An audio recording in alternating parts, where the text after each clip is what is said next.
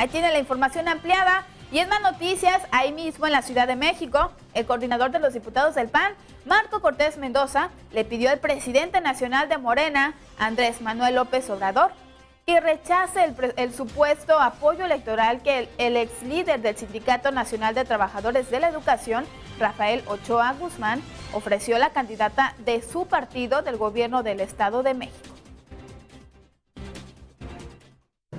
Que Andrés Manuel López Obrador muestra permanentemente su incongruencia. Todo lo que ha venido señalando por años lo está haciendo.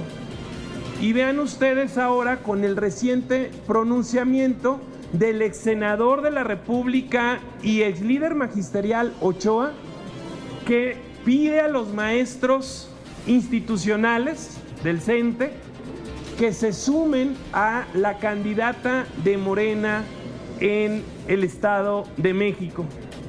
Esas incongruencias que él señaló de este tipo de acuerdos con sindicatos, ahora el propio Andrés Manuel López Obrador hace de ellos.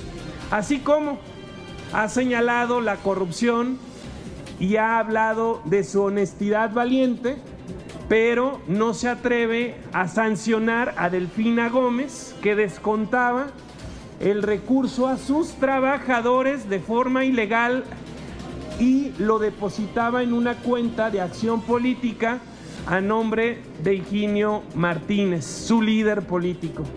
Por ello es que nosotros le pedimos un acto de congruencia y que, de ser así, rechace el apoyo de este líder magisterial que pide a los maestros de la CENTE que se sumen a Delfina y también que se pronuncie respecto al recurso que recibía Delfina cuando era presidente municipal de Texcoco.